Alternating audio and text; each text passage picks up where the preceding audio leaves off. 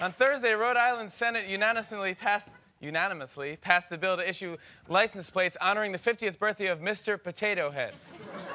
then on Friday, Rhode Island State unanimously passed a bill prohibiting them from passing bills when everyone is drunk. Unanimously. Unanimously. Thank you. A federal judge ruled that nude pictures in June's Penthouse magazine are not of tennis star Anna Kournikova as advertised. Also, it turns out that the two Viking girls going at it on page 93 are not real Vikings.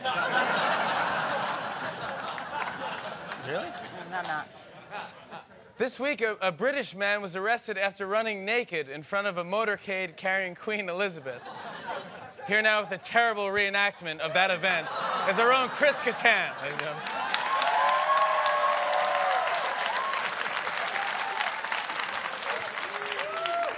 Hello, hello, my loyal subjects.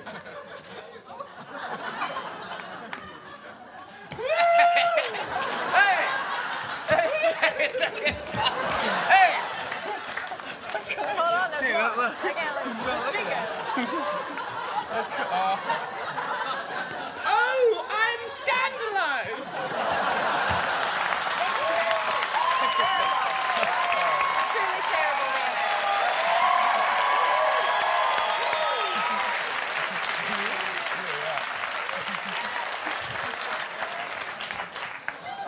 Ha.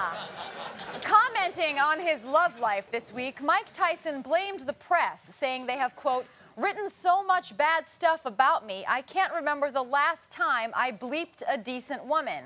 I have to bleep strippers and whores and bleep because you put that image on me. Michael, Michael, you had me at bleep. This week in Belgrade, the Serbian version of Who Wants to Be a Millionaire made its debut. There were no survivors. Last week, Robert Blake asked the judge for more time with his lawyers, claiming he almost can't read because of severe dyslexia. That explains why he shot his wife and then went to get a gun in the restaurant, I guess.